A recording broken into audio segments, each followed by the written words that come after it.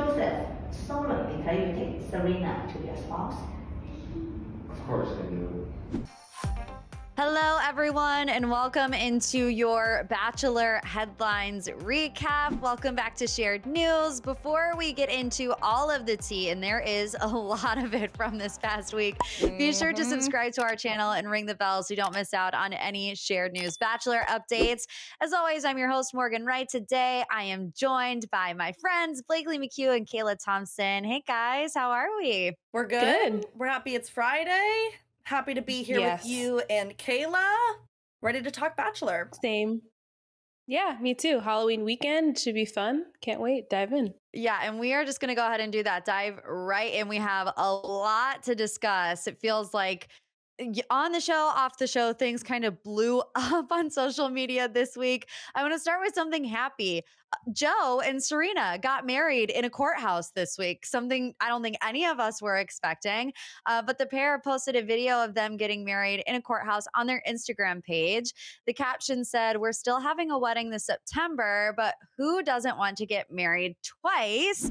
Um, Kayla, were you surprised by this? I mean, I was shocked, but was here for it nonetheless. Absolutely. Yeah. I was here for it nonetheless, but did not see it coming at all. I thought they'd, yeah, just get married, you know, next year and everything. But I'm happy for them. This is like there if if any couple were to just kind of like do this courthouse wedding, I'm like it should be them just because I think most of Bachelor Nation is like, they're so legit. Like, yes, please get married immediately because you guys are such a solid couple ever since Paradise. So I'm super happy for them. They seem like they're really happy as well. I was surprised also, and I did feel like it was a little. It feels a little quick. I mean, I guess they've been together slash engaged for more than a year now.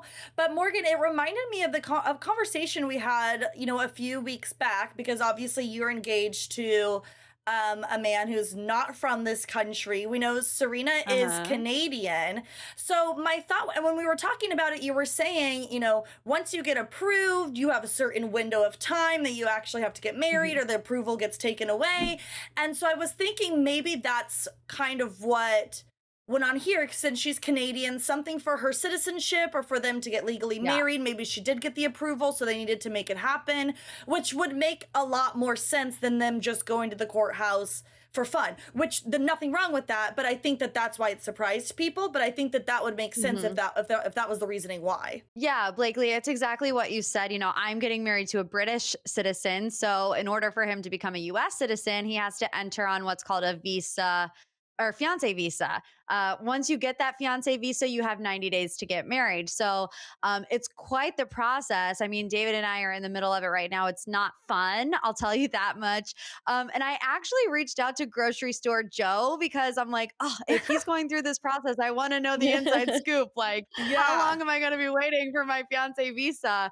And um, right. what he had said was that uh, Serena actually got what's called a B1 visa, uh, which is a little bit mm. different. Mm. It's not a fiance visa, it's technically uh, a work permit visa where uh, under certain cir- circumstances you can work in the United States. So she got that and and I believe mm. that mm-hmm. it is the same, you know, once you get the visa, whatever it may be, you have however many days married. So um, I'm probably going to end up at the courthouse too with a later uh, real wedding. And you know, they did. Are we going to get a video of it, Morgan?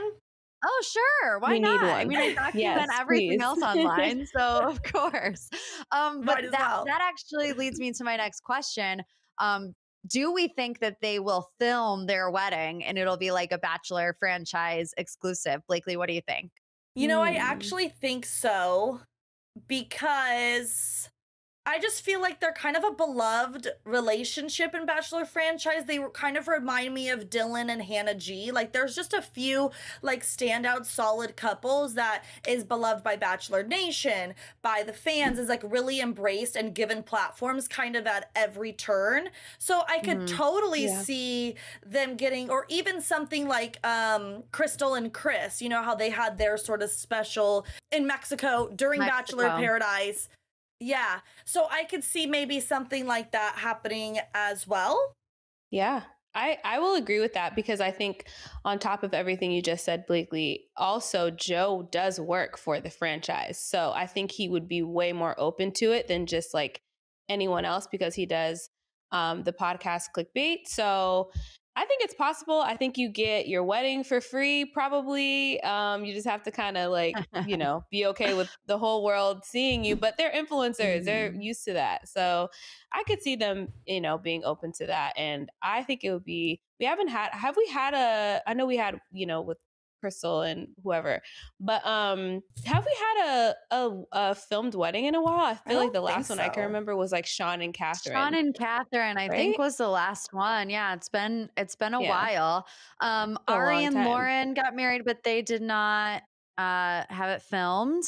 I can't think Right. of anybody else. No, I Can't think think, that would be it. And Yeah. look, we have to celebrate our wins. Too many bachelor couples break up. so the fact that we we had one marriage this week, I'm like, thank I you, know. bachelor gods, It's for true. coming It's through. so true. But not only that, we got three bachelor engagements this week. It was the week of love in Bachelor Nation. It really was. we had Dean, we had Dean and Caelynn, we had Becca and Thomas again, which we'll get into that, and um, Krystal and her now fiance Miles, who's not a part of Bachelor Nation, but they do have a child together. Let's start with Dean and Caelynn. Um, not your typical engagement with Dean and Caelynn, which I think we were all expecting. Nothing they do is really typical, but of course, there's been quite the saga leading up until this moment. Uh, you know, Dean has said in the Mhm. past, I'm not getting Caelynn a ring until she gets me a truck. And then he said on his podcast this week, you know, by the time this podcast episode comes out, we'll be engaged. We all were like, wait, what? Are they? We we didn't know. We didn't know. They finally posted about it. Um, But Mhm. Dean also revealed that he lost Caelynn's original 4.5 carat engagement ring in his garage. He put it in the junk drawer and lost it. So now he's got a placement holder ring. Should that be a deal breaker? Oh Such my a Dean thing because like he doesn't Yes. care about the engagement at all or the ring. Such a thing for him to do is put it in the junk drawer and lose it. You know what I think is really interesting about the whole thing is that um, you know, the argument was made that Caelynn needs to get me a truck so I Hated get her that. ring because she makes more money than me. Like that was the whole reason behind it, right? And then you go on to put a 4.5 carat ring in a junk drawer and lose it. So that's kind of where it doesn't like vibe with me very well that Dean is like, why should I spend all this money on Caelynn when she makes more money than me? If she buys me a truck, I'll Mhm. buy her the ring. And then you lose it. Like, what what is that? Who knows with Dean? I think for me, I'm just surprised that they're honestly every time I, uh, you know, check back in, I'm like, oh, they're still together. Like I'm really surprised because when I watched them on Paradise, I was like, they have like three months, and this is not going to work. So the fact that they've been together for like three plus years is, you know, beyond me. But God bless them. If they, you know, getting engaged, they want to be together. I mean, they've they've made it. Caelynn is used to Dean and his antics, apparent, you know, clearly. So she's probably like, I don't even care. It's fine. Just find it. It's gonna be it's gonna be okay. I don't even care. The whole, I mean, we've obviously known like this engagement was coming for a while because I think it was back in August that Caelynn posted, August, a- couple months ago, where she had posted the steering wheel and she was like, if you listen to the podcast, you know what this means, whatever. So we kind of knew this, the engagement was on its way. But honestly, the whole like, you need to buy me a truck, so I give you a, a ring kind of felt icky to me. I just feel like there shouldn't be like, uh an ultimatum put on an engagement like you buy them a ring and you propose because you want to do that you want to spend the rest of your life together that you want to you know what i mean like Mhm. there's a there's a, Yeah. a hint Yeah. of like almost like you're taking the specialness away from it when you're like you have to do this in order for this to happen and i i mean i don't know if this is an unpopular opinion but i have never really loved their relationship only because i feel Mm. like caelynn has kind of turned her life upside down yet dean's hasn't Mm, and that's not to say that she doesn't like that or you know she's really embraced it and sh you know she's found new parts of her but from an outsider to me it seems like she's done all this change and completely changed who she is yet there's been no almost no Yeah. balance on the other side and then again like maybe a ring that would be really important to her is now that would be more of a her thing is now well you have to get me a truck in order for me to give you something that's Mhm. about yeah. you You know what? That's in that's kind of wild because I don't follow them. I'll just go ahead and own up. I don't follow them. So I didn't know that the I thought the truck situation was a joke. So I didn't mm. know that she actually did get him this truck. And that may have been why he went ahead and got her the ring. I agree, Blakely. I think that's that's pretty wild. That's a little out of pocket. I feel like, yeah, I don't know. That doesn't sit well with me either, honestly. And I I agree. I, I haven't been the biggest fan. Again, maybe why I don't follow them. I haven't been the biggest fan of their relationship. I think individually they're both just kind of like, okay, I don't really like rock with y'all like that. But again, mm-hmm. God bless you guys want to be together. You've been together for you know a while now, but yeah, I mean, clearly it's, it's working. That's weird. I don't know. Yes. Yeah. Yeah, and I mean they're unconventional, right? And even the stuff yeah. we're about to discuss with Becca and Thomas, we've just seen a lot of um, different ways of people going about proposals these days. You know, it's not the stereotypical the man proposes to the woman, and you know, Caelynn and Dean have been outspoken in their opinions on that about making it special for each other. So I do understand the sentiment, but on the other hand, I also feel like it's a mentality that I don't know I would want to deal with for the rest of my life. If I was Caelynn, you know, like my fiance likes to do things for me with no expectation of me giving him something mm-hmm. in Doing return, something. Uh, mm-hmm. uh, whether that's yeah. of monetary value or, you know, sentimental or whatever it may be. He likes to do, do things for me out of the kindness and goodness of his heart. And the same for yeah. me. So I mean, like we've all said, best of luck to you guys, Dean and Caelynn. It's not my mm. jam. I don't think it's anybody else's jam here on this panel. So we'll keep yeah. it cute and we'll keep it moving to Becca right. and Thomas, who got engaged for a second time. Again, a little bit of an unconventional uh, way to do things. The first time around, Becca proposed to Thomas. This time around, Thomas proposed to Becca. And it, again, was this huge um, media headline. My question is do you think it's necessary? Or do you kind of mm. look at this as as an attention grabber? What are your thoughts, Kayla? Oh, interesting. You know, yeah, I I think that people are making an interesting point because, you know, when she first proposed to him, yes, it was unconventional, but I felt like I I respected why she wanted to do it because, you know, I you know, for her in the past proposals have just yeah, it's just a bad taste in her mouth almost. So she's like, let me kind of switch it up and take control of the situation in a way just to kind of, uh, I guess, rectify that for herself. Um, and so, with that being said, a proposal is a proposal, right? So, why do we have to do it a second time? I think, you know, I guess the only thing was, was he going to get her a ring? And so, I think that's a different thing than having a whole nother proposal again to ask you again if I already asked you. So why do you need to ask me? I don't know. It does feel like it kind of logically doesn't really make sense. So mm-hmm. I could mm-hmm. see how people are saying it's an attention grabber, but I will say from what I've seen of Becca and Thomas, they yes, they're in Bachelor World and she's also on a podcast with Bachelor Nation, but I don't see them as people who like, you know, are clout chasers like that. I feel like they're just kind of living their life and doing what they want to do. And maybe Thomas just really just he was going to do that anyway, so he was like I'm still going to go ahead and propose to you. So that's that's kind of my my thought process on on the whole situation. But Blakely, what about you? I didn't really I didn't really mind it because I think like Thomas probably wanted to have that special moment of getting down on one knee and asking somebody to marry him. So I think maybe like my perspective is that's probably where he came from in the second proposal because I don't believe that he's ever proposed to somebody. So I think he probably mm-hmm. wanted to like have that special moment for himself. What I don't think is necessary is this to also be like a new headline. Like they're already engaged. And yeah. at this yeah. point, like I understood the headline of, you know, it was a big deal when Becca did it because that's so unconventional. But now we're going back to the man proposing to the woman and they've already done it. You know, I just, I didn't think it needed mm-hmm. to be mm-hmm. as blown up as it was. Uh, mm-hmm. But I do mm-hmm. think that Thomas probably wanted that special moment for himself. Yeah, for sure. I mean, anytime you see someone in Bachelor Nation get engaged these days, what it's always a people exclusive. You know, after they get engaged on the show, there's a people exclusive. If they break up at the end of the show, it's a people exclusive. If they get engaged off the show, it's a people exclusive. So to me, it just kind of feels like um, you know, an extra attempt to maybe get some money from People magazine or the Daily Mail yeah. or whoever is is paying you to get these photos of Thomas now proposing to Becca, which just to me feels unnecessary. I mean, I get it. It's part of the game. They're influencers. This is how they make money. But at the same time, I don't like it when it's super transparent that like we Mhm. called up People Magazine and we're like, we're going to do a second engagement. Who wants to come take our photos? And how big is the check going to be? I don't. I don't love that. Um, but speaking Mhm. of people exclusives, you know who else had one? Maddie Prewett and her soon-to-be husband. Uh, they're getting married this weekend. So something very interesting about this is what members of Bachelor Nation will show up to Maddie's wedding Mhm. in the comments section. So Maddie Mm. posted a photo of her with her wedding dress in her hand, zipped up, obviously.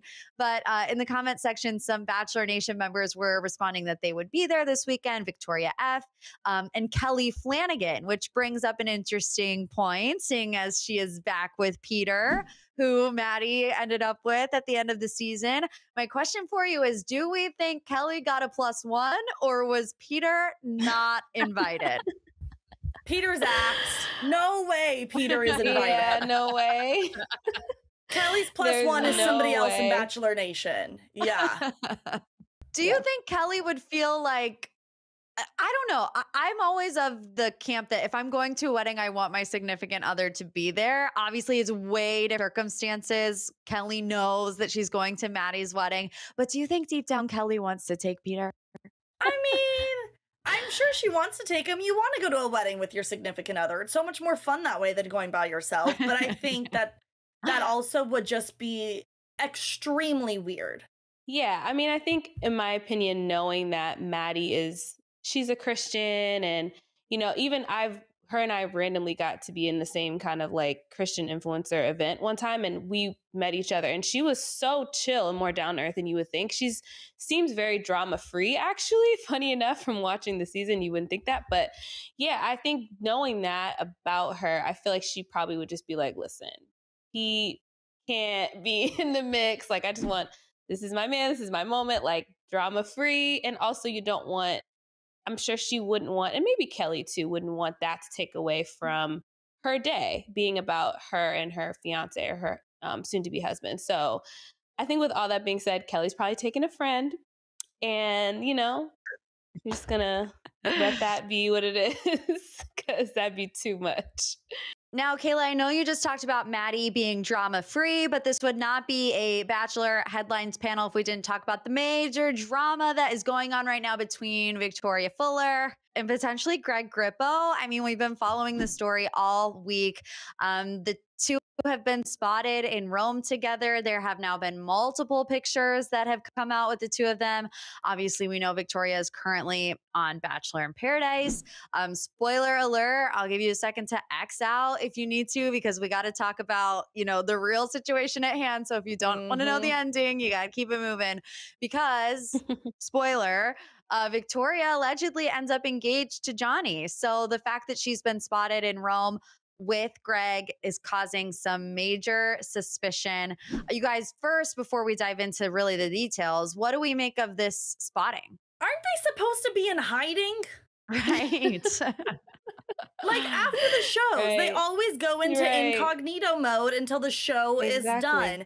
Where eh, why are they not in incognito mode or in wigs or hats or something? Because now we know uh, but they've done it. You know, the people who've won the Bachelor have done it before. But like, uh, we now we now have spoiled that Johnny and uh, what's her face Victoria likely do get engaged at the end of it. So there's one spoiler. Now we've got another spoiler that oh they don't last. Now we got a third spoiler. Like we already just spoiled so much of what the show is. yeah. No, it's so true. It's so true. And I know there's like a I know there's like a rumor that I think maybe Z- our own Zachary Reality tweeted about this that like maybe the show is wanting Greg and Victoria to be together so that it draws attention to the show. But I feel like personally that's not it. I think it shows that the show is like doesn't have control or over, you know, its cast members because I agree with Blakely. I feel like Victoria should be in hiding right now.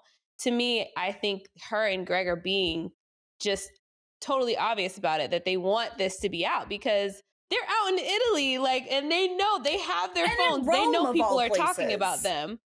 Right. But it's like they know that the past week people have been talking about them. So if they didn't want, if they wanted the rumors to stop, then they would have kind of done something to shut those off. But they didn't. They keep going out, they keep letting photos be taken of them. So yeah, I feel like the show is kind of definitely they they don't have a, a handle on this thing, in my opinion. They don't. Um, yeah, Yeah. it's it's a little sloppy, but it's intriguing. I'm curious. Yeah. Do y'all think that they're like, did they make sense as a match? Like this is so random to me. Like I don't know. I don't get it. I want to know what well you guys before think we about yeah that. before we get into that i want to talk about the tweet because uh, i have it pulled up Oh, here yes, zachary tweeted someone told me it's possible the producer sent victoria fuller and greg grippo to italy on purpose to make a scandal. So viewers are invested come reunion time. What do you guys think? Mike fleiss quote tweeted zach's tweet and said that's absurd with an exclamation point and put bachelor in paradise. So i feel like this is your typical mike fleiss stirring the pot moment where it's like we don't actually know if he's confirming or denying. He's definitely trying to create more buzz. But it does bring me to that point that the reunion is filming soon. Do you, I mean, like within, I think, a couple of days, maybe even a week. Has this Mhm. scandal made you more interested in the season as a whole and more interested in watching this reunion? no. The answer is yes, you guys. Are you serious? well, Because for me, here's it's a the yes no. But yeah, Let me explain Blakely, you go. You go. Because everything right now, Morgan's like looking at me with like disappointment right now. I'm feel your like eyes just peering into me. Because every I, um, the what's getting out of hand for me with Bachelor in Paradise is everything is feeling too manufactured and too manipulated. So now that there's this Mhm. potential idea that oh Greg and and I don't really believe it if I'm being honest because I feel like Victoria is has been so removed from Bachelor Nation that I don't see her doing anything that that like Bachelor ABC tells her to do. Like I feel like she really does whatever the heck she wants to do. But still, like it just feels like everything is just being so manufactured and manipulated and like blown out of proportion. And I just don't really care like you know Mm. we i feel like we scrutinize so much people like let's look at tino for example and the cheating right Mhm. like we like uh, he, he was annihilated for he didn't even do something illegal now there's a well did victoria cheat yeah you know and it's like we're so invested in these people's lives that we don't even know and i'm just like i don't care if she cheated if she didn't cheat i just don't care any longer like it's not it's a big deal but she didn't commit a crime and it, it- I- Yeah. I, think i feel like people are just so way too invested and it's kind of so no is my answer morgan Blakely, I get it. I totally get it. Because for me, what makes me not care is the fact that the me watching Johnny and Victoria get engaged, that whole journey is null and void to me because I know that they Mhm. don't- don't end up together. So that part, I'm just like, so I don't even, why am I watching them? Like, y'all might as well change the way that you edit them or something. I don't know how you're going to do that but don't have me i don't know it's like i don't know if they want to make us too invested because to me it's just like why though like because you know in the reunion they're gonna have to yeah so i think when it comes to the reunion i'm interested in that just because i'm gonna i'm curious to see if they're going to weave in the greg of it all if Johnny is going to bring it up, if Johnny, how Johnny's going to handle that conversation, and then how Victoria is going to like explain herself. Like, how far into this postseason mess are they going to go? Because for me, I'm just like, you know, what's the timeline of their their breakup, her meeting Greg? Because, well, I know, you know, our girl Allison she also works for like Nick Viall. And so she's friends with Natalie and his girlfriend Natalie. And I know that she had a birthday uh, in August. And I think Victoria and her are very close. So Victoria was there. I saw Greg was there with Andrew and I think even Justin. So maybe it was that we need to have Allison here to like maybe clear it up to see if like she caught some vibes or something her. like that. Be like, it's so funny because I was just texting her actually. But yeah, just to kind of suss out this timeline because it's like that's this is all very close together. That you Mm-hmm. know potentially she met Greg in August. I I heard that her and Johnny broke up in September. That's what the spoilers are. And so and now she's out in Italy with Greg. Like y'all going on trips together? That's kind of crazy. Yeah, that timeline is definitely interesting. And I think, you know, my thought while you were explaining that was just how short lived, if that's true, and that's how it all played out, just how short lived Victoria and Johnny's relationship really was. I mean, you know, being on the beach for six weeks, getting engaged, being engaged for two months and then breaking up Yeah. and moving on with somebody else. So it seems to be a little messy. Uh, hopefully, we find out more details soon. But that's it for our Bachelor headlines panel. You can feel free to leave comments on any of the things we discussed today, whether it's about Mhm. Victoria and Greg, whether it's about Serena and Joe, Dean and Caelynn. We love to hear from you guys, your thoughts, opinions, and comments as well. Please be sure to come say hi to myself, Blakely, and Kayla on our social media pages. Our handles are on the screen right now. Make sure you subscribe to our channel, ring the bell so you don't miss out on any updates, and we will see you back here next time. Thanks for watching. Bye. Bye.